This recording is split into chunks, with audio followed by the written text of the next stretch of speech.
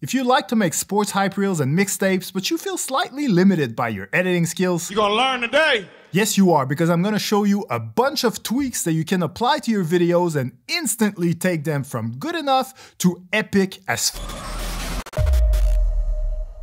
Hey guys, my name is E. I'm a professional sports videographer, and the purpose of my channel is to give you the knowledge and the tools that you need to create sport videos so awesome that you too one day will be able to work alongside your favorite athletes. Chris is going to be holding this camera and he's going to be moving towards you and backwards, and you just sort of keep looking down the barrel as he's doing all the work, basically.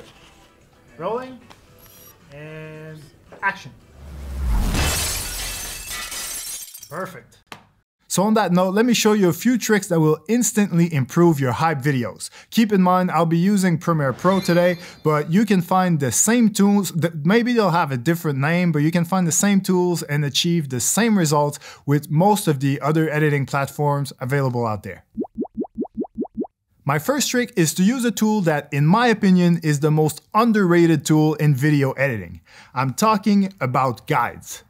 These guides. I use them to tweak and improve the accuracy of my transition effects and my tracking effects. For example, when tracking a football on a throw like this, I use guides to keep the ball in the middle of the frame at all times.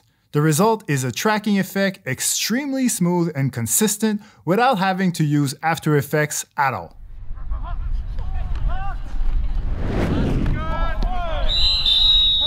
To add guides in Premiere Pro, just make sure that your playback window is selected, then click on the View menu and Show Guides.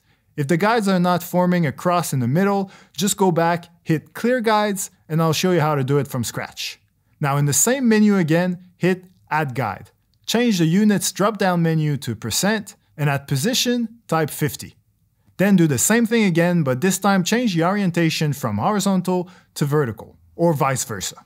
If you want, you can change the color of your guides right here, and I suggest using a color that stands out as much as possible from your footage. Now with these guides in place, it's much easier to keep your subject in the middle of your frame when tracking and also when working on transitions like this one. At the moment, the transition is just a basic cut, nothing special about it. But I can easily make this a seamless transition to the point where you won't even see the cut anymore. All that using guides to align the basketball at the end of the first clip with the basketball at the start of the second clip. And to really fine tune it, I can even put one clip over the other, lower its opacity by 50%, and then adjust the position and scale perfectly. Once I'm done, I bring the opacity back to normal, put the clip back where it belongs, and voila. That shit been amazing. I can't see a way out. I've been stacking face line off canvases I painted. I just spent the rain day on shit I can't afford, but that's the price I pay for the memories I'm making. I've been going places. Another way to make your cuts appear way more seamless is to cut similar actions back to back. We can obviously still see the cuts, but because the action in each clip is so similar, in the viewer's minds it all becomes just one long series of actions instead of several independent ones, if that makes sense. Ah! You can also achieve the same result by having one continuous movement through different clips. For example, in this sequence, it's pretty obvious that this is not one continuous play. But because the flow of the action makes sense, the viewers don't care about the cuts, they're way too busy getting sucked in by the play.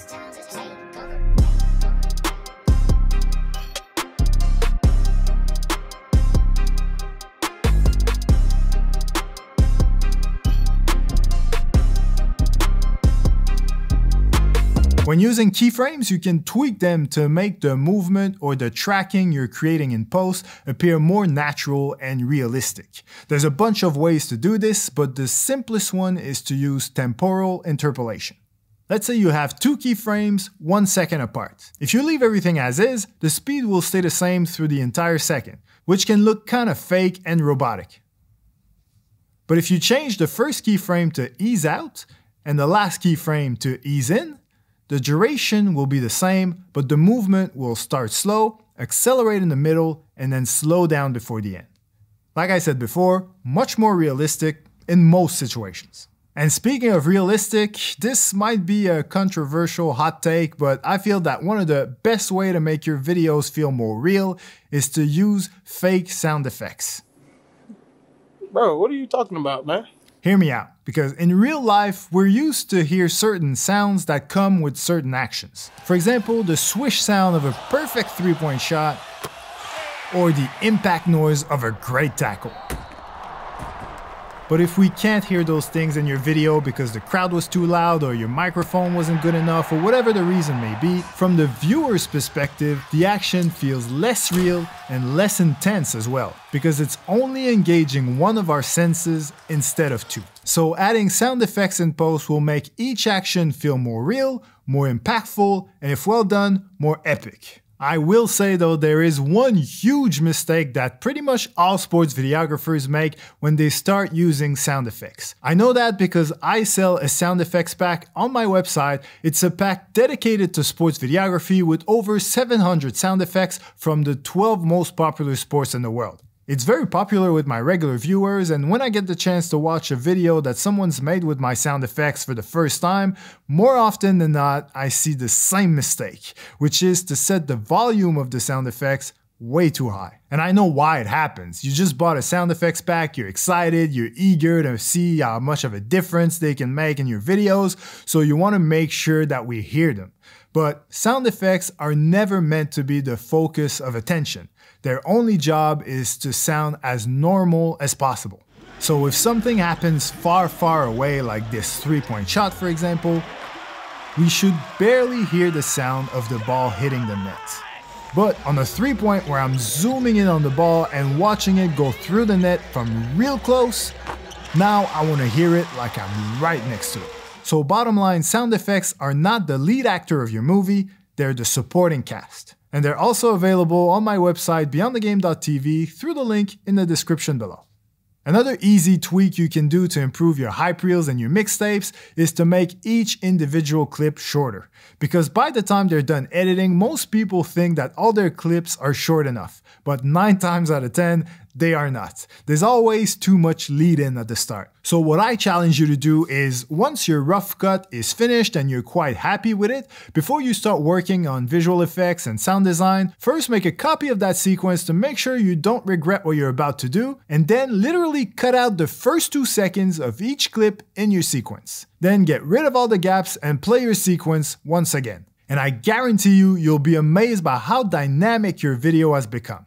For sure there'll be 3 or 4 clips for which it doesn't work and you'll have to go back and fix them, but for the most part your video will be improved and also more likely to go viral on social media because of its new dynamic pace. Speaking of social media, don't be afraid to use the Instagram and TikTok apps to add stickers, effects, and trending music tracks to your finished videos. There are a ton of cool things that you can add in those apps that you don't have access to in most editing platforms. So make sure you make the most of it because again, this is a great way to help your videos go viral.